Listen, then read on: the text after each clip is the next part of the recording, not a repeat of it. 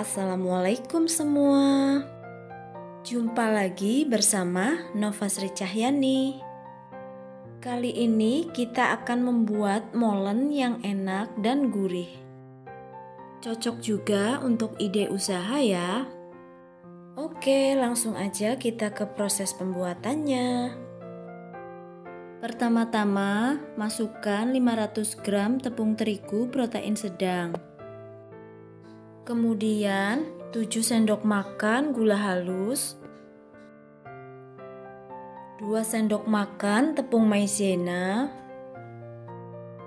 1 sendok teh garam, kemudian seperempat sendok teh vanili bubuk. Kemudian aduk bahan kering sampai tercampur rata. Setelah tercampur rata, masukkan 100 gram margarin yang sudah kita cairkan terlebih dahulu. Kemudian aduk kembali sampai semuanya tercampur rata ya. Ini sampai adonannya berpasir seperti ini ya teman-teman.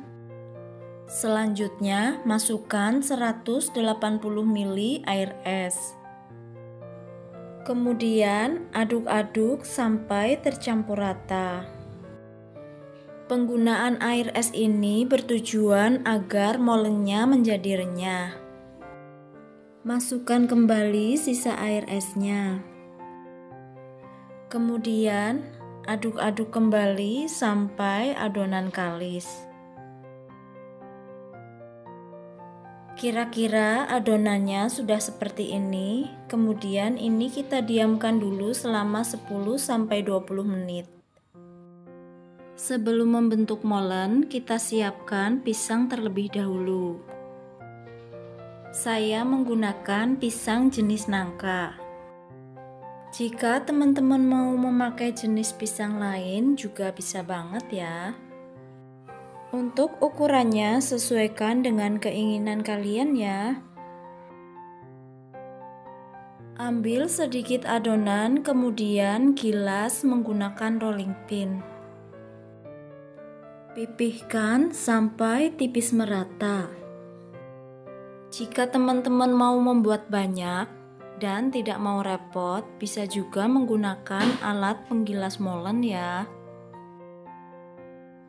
Setelah kulit molen tipis merata, kemudian ini akan kita bagi menjadi tiga bagian. Kita akan mulai membentuk molennya. Ambil satu potong pisang, kemudian lilit menggunakan kulit molen. Balut pisang sampai semuanya tertutup oleh kulit. Lakukan sampai seluruh adonan habis ya, teman-teman. Molen ini bisa langsung digoreng ataupun disimpan terlebih dahulu di dalam kulkas.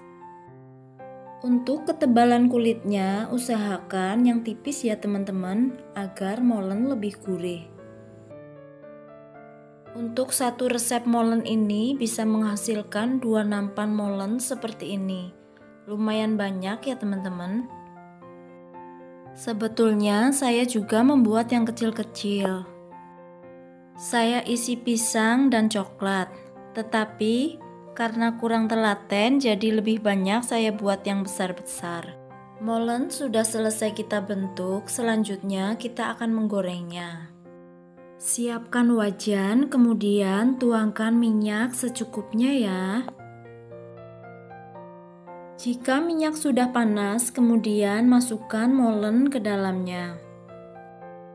Untuk menggoreng molen, gunakan minyak yang lumayan banyak agar molen matang dengan sempurna. Goreng menggunakan api yang sedang cenderung kecil. Jika apinya terlalu besar, molen akan cenderung cepat gosong dan matangnya tidak merata. Goreng secukupnya, kemudian sisanya bisa kita masukkan kembali ke dalam kulkas. Jika sudah kuning keemasan, kemudian kita angkat molennya, kemudian kita tiriskan. Goreng sisanya kembali sesuai dengan kebutuhan. Gampang kan cara membuatnya? Molen ini cocok juga untuk ide usaha ya.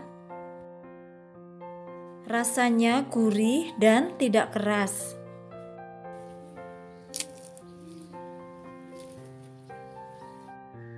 Terima kasih sudah menonton. Semoga video ini bermanfaat. Jangan lupa like, comment, share, dan subscribe ya bagi yang belum subscribe. Sampai jumpa di video selanjutnya. Wassalamualaikum.